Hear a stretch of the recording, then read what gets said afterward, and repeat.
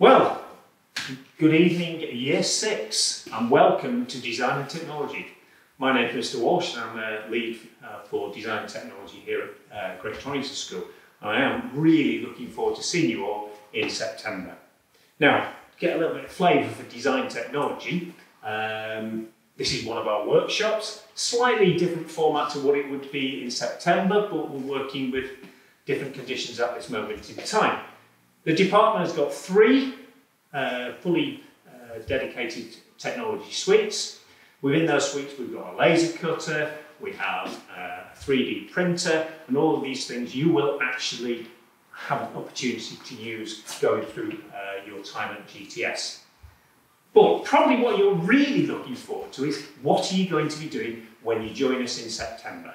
Well, you'll embark on a challenge now that challenge is linked with food technology.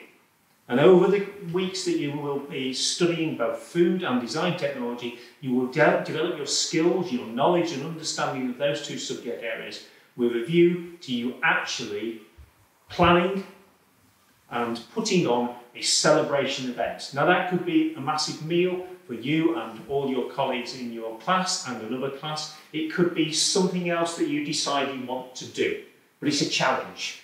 But I think you're all up for that challenge. Year, year groups have just done it recently. It was brilliant, a fantastic event. So how's it, how does that fall? Well, in design technology, you're going to make some artifacts, things that you can take home. Puzzles.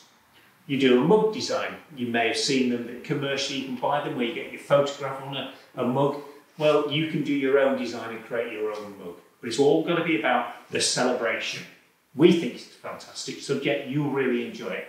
The other thing about design technology, it's your time to shine. We think it's the best subject in school. Other subjects might think that's not the same, but in here, it's brilliant. You can make mistakes. You learn from them. You can be creative. You can do what you like. We don't mind. We want you to really enjoy the subject and get something out of it.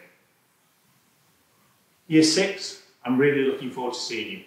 This is a brilliant school. This is a brilliant department. You will have fun. Thank you for listening. I will look forward to seeing you in September. Bye-bye.